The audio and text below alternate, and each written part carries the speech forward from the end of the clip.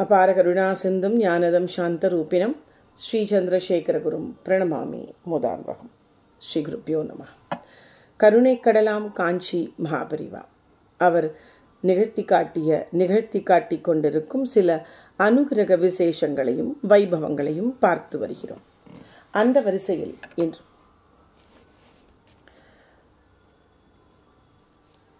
பெரிவா பெரிவாளுடைய அந்த ஞாபக சக்தி ரொம்ப ஆச்சரியத்தை கொடுக்கும். ஒரு ஒரு ஒரு நிகழ்வுகளும் பார்த்தா அவ்வளவு ஆச்சரியத்தை கொடுக்கும்.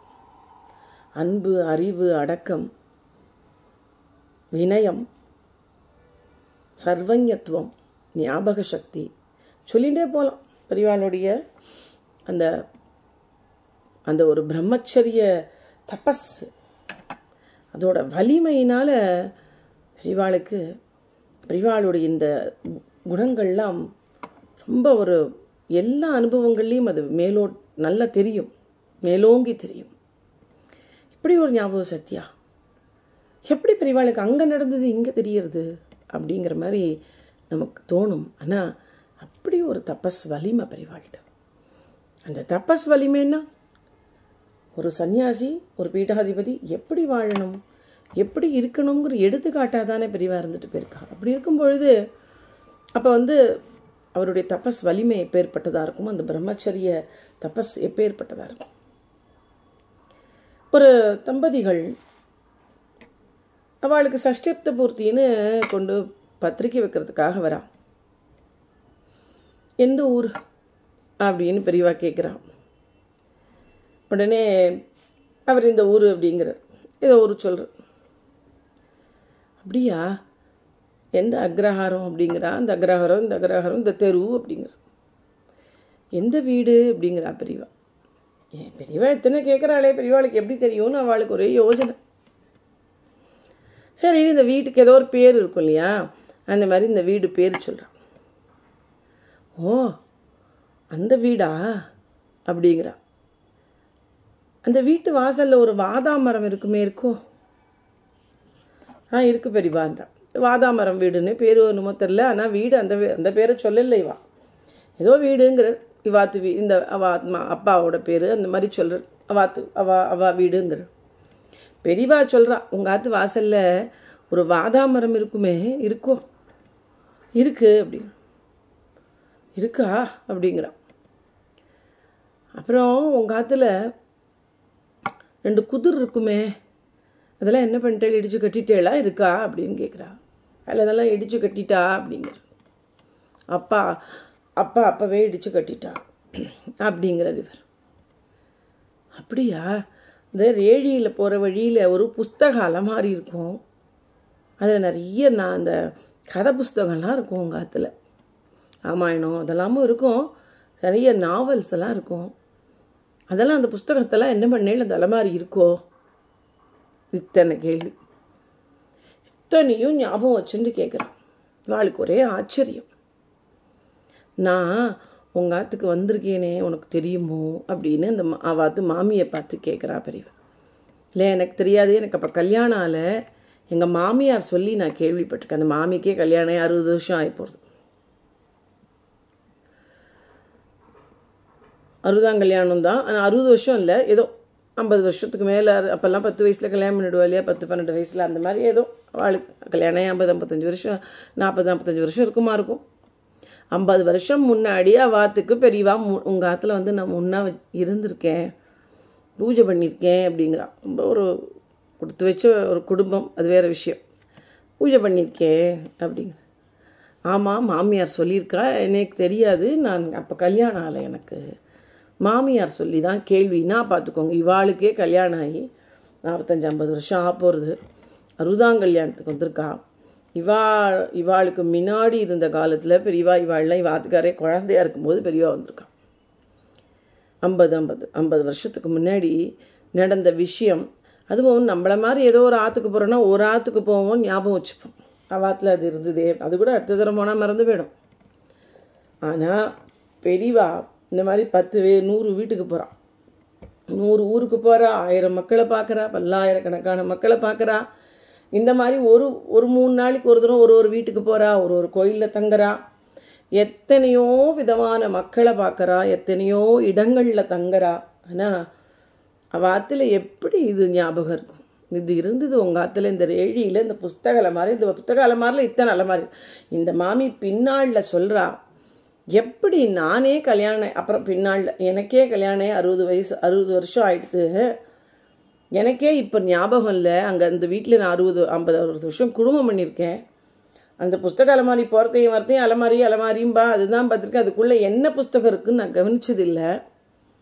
பெரியவா அத்தனை கவனித்து அதை ஞாபகமும் வச்சுட்டுருக்கா அந்த குதிர் இருக்குங்கிறா வாசலில் மரம் இருக்குங்கிறா அது எப்பேர் இது?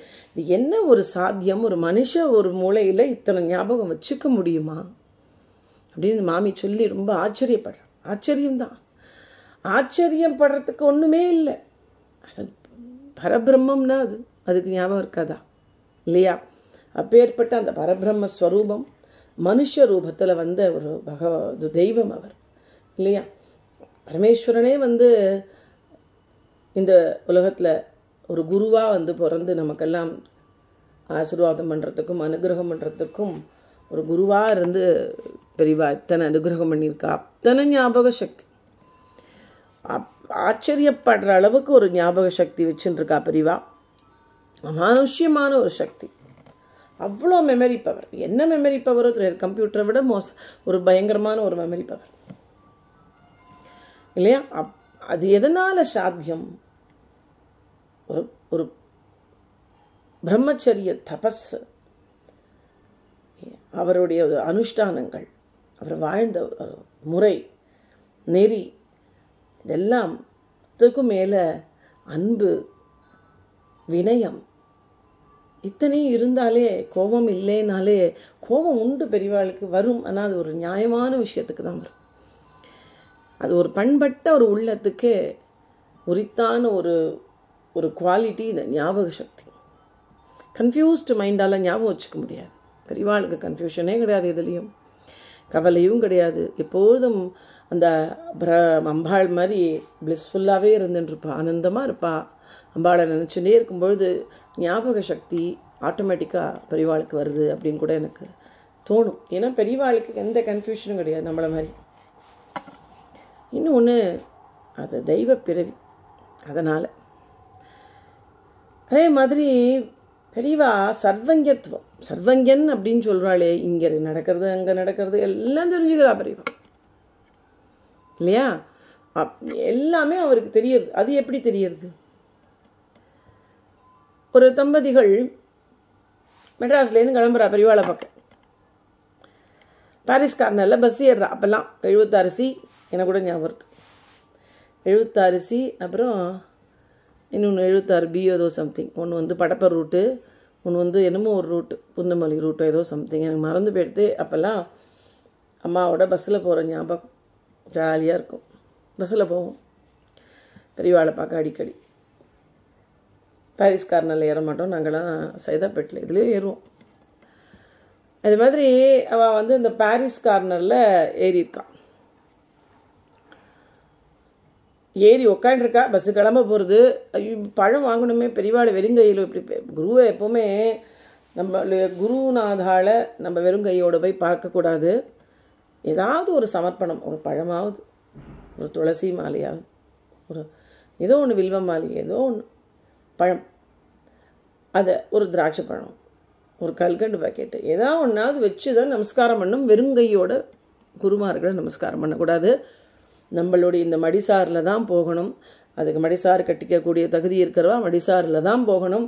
பஞ்சகஜம் கட்டிக்கக்கூடிய தகுதி இருக்கிறப்ப பஞ்சகஜத்தில் தான் போகணும். மற்றவா அட்லீஸ்ட் சாரியாவது கட்டின்னு போகலாம். சுடிதார் போட்டுண்டோ இதெல்லாம் போகக்கூடாது. அந்தந்த இடத்துக்கான ட்ரெஸ் கோடு ஃபாலோ பண்ணணும். எப்படி ஆஃபீஸில் ட்ரெஸ் கோடு ஃபாலோ பண்ணுறோம் இல்லையா? நீ ஆஃபீஸ்க்கு போய் நீ வேஷ்டி கட்டிட்டு போவியா? கேரளாவில் போவாளாக இருக்கும். இங்கே போடுறதில்லை மற்ற ஸ்டேட்ஸில் வேஷ்டியெல்லாம் ஒரு மாதிரி ஒரு ஒரு ஃபார்மல் ட்ரெஸ் இல்லை அப்படின்னு நம்ம நினைக்கிறோம் இல்லையா? அதே தானே சுவாமி கோயிலுக்கு போனால் ஒரு ஃபார்மல் ட்ரெஸ்ஸில் தான் போகணும். கோட் சூட் இல்லை. ஃபார்மல்னால் சுவாமிக்கு என்ன ஃபார்மல் சாரீ நம்ம இந்தியனுக்கு ஏற்ற மாதிரி சாரீ அட்லீஸ்ட் இல்லைன்னா நார்த் இந்தியன் அவளுக்கு சாரீ வரலை அப்படின்னா அவளும் சாரீ கட்டிக்கிறாங்க நிறைய சாரீ கட்டினா அவள் அப்படி போட்டுட்டு தான் போவாள் அவளோட ட்ரெடிஷன் நம்ம தான் எங்கள் கிட்ட அழிஞ்சுட்டு இருக்கோம். சவு சவுத்தில் ஜீன்ஸ் போட்டு டிஷர்ட் போட்டு கோயிலுக்கு போகிறதெல்லாம் சாரி கட்டிண்டோ குழந்தைகள் தாவணி போட்டுண்டோம் பாவாடை சட்டை போட்டுண்டோ. புருஷன் எல்லாம் வேஷ்டி கட்டிண்டு.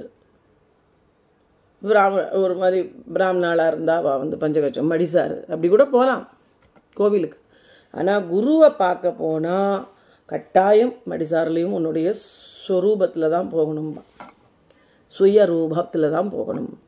வைஷ்ணவால சொல்லுவா சுரூபம்மா சுரூபத்தோடு வாங்கோ அப்படிம்பா அப்படின்னா மடிசாரை கட்டின்னு அவள் அவள் ஆச்சாரியால் மடிசார் இல்லாமல் பார்க்க மாட்டான் நம்ம அப்படி நம்ம ஆச்சாரியால் ஸ்மார்த்தாவில் சொல்கிறேன் அப்போ வந்து நான் ஸ்மார்த்தானால நான் ஸ்மார்த்தான் நம்மன்னு சொல்லிக்கிறேன். நான் நம்ம எந்த வேறுபாடும் இல்லை. அவா அவள் சொல்கிறேன் நான். வைஷ்ணவாளாக இருந்தாலும் அவள் அந்த மடிசாரில் போகணும் நம்மளோட மடிசாரில் போகணும். இன்னொன்று ஒரு மடிசாரை கட்டிக்காதவாளாக இருப்பா இல்லையா? அவள் நார்மலான சாரி அட்லீஸ்ட் அப்படி போனால் நல்லது. நமக்கு நல்லது. சுவாமி என்ன என்ன வந்தாலும் அவருக்கு என்ன வந்தது? நமக்கு நல்லது அவ்வளோதான் சரி நான் எங்கேயோ சுற்றி சுற்றி வந்துட்டேன். இப்போது பெரியவாளர் ஞா சர்வஞத்துவம் எங்கும் நிறைந்திருக்கா பெரியவா அப்படிங்கிறதுக்கான ஒரு நிகழ்வை தானே பார்த்துட்டு இருக்கோம். அந்த மாமா மாமியும் பஸ்ஸில் ஏறுறா. அடிசாரை கட்டின்னு இருப்பா பஞ்சகஜம் கட்டின்னு இருப்பா அப்படின்னு அவன் நினச்சிக்கலாம். நம்மளுடைய இமேஜினேஷனில் ஏறி இருக்கா பெரியவாளுக்கு பழம் வாங்கணுமே அங்கே தானே போனேன். அப்போ தான் சுற்றி எங்கேயோ சுற்றி அடிச்சிட்டேன் சாரி பழம் வாங்கணுமே வெறுங்கையோடு போகக்கூடாது. இரு நான் பழம் வாங்கிட்டு வரேன். பெரியவாளுக்கு மலைப்பழம்னா பிடிக்கும் நான் வாங்கிட்டு வரேன்னு மாமா இறங்குறேன் சரி சரி போயிட்டு வாங்குவோம் அப்படிங்கிற மாமி. பாரிஸ் பாரிஸ்காரனில் தான் இங்கே நன்னா கிடைக்கும் நான் வாங்கிட்டு வரேன் அப்படின்னு போகிறார் போகிறார் போனார் வரவே இல்லை ஒரு பத்து பதினஞ்சு நிமிஷம் ஆயிடுத்து. பஸ்காரம் பஸ் எடுக்க போகிறான் மாமிக்கு பத பதைக்கிறது.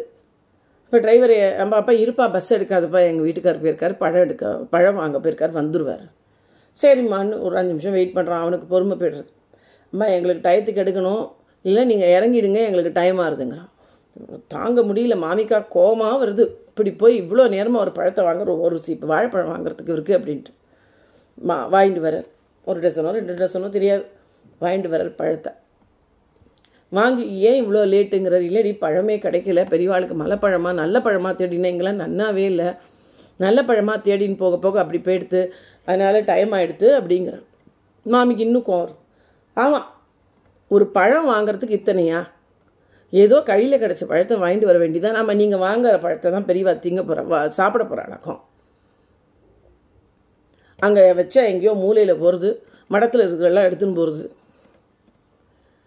ஏதோ வச்சு இப்போ வெறுங்கையோடு போகக்கூடாது. ஏதோ கிடைச்ச பழத்தை வாங்கிட்டு வந்து வச்சுட்டு நமஸ்காரம் பண்ணுமான்னு இல்லாமல் இப்படி பஸ்ஸை விடுற அளவுக்கு போவேலாம் நீங்கள் நீங்கள் வாங்குற பழத்தை தான் பெரியவா சாப்பிட போகிறாளா அது எங்கேயோ அங்கே பத்தாயிரம் ப பெரியவா முன்னாடி அப்படி தட்டுங்கட்டுமா பழமுமா கூட கூடையாக பழம் வச்சுருப்பா நம்ம பழத்தை தான் பார்க்குறாளாம் அப்படின்னு திட்டு திட்டு திட்டு மாமிக்கு செம திட்டு பஸ்ஸு கிளம்பியாச்சு அது பாட்டுக்கு அடுத்த ஸ்டேஷனுக்கு அடுத்த ஸ்டாப்புக்கே போயாச்சு. மாமி திட்டு மட்டும் அது கண்டினியூ ஆகிட்டே இருக்குது மாமாக்கு. ரொம்ப திட்டிகிட்டே இருந்தால் சரிடி சரிடி வா பரவ போகலாம் போகலாம் வா. அப்படி மாமா அடக்குறார்.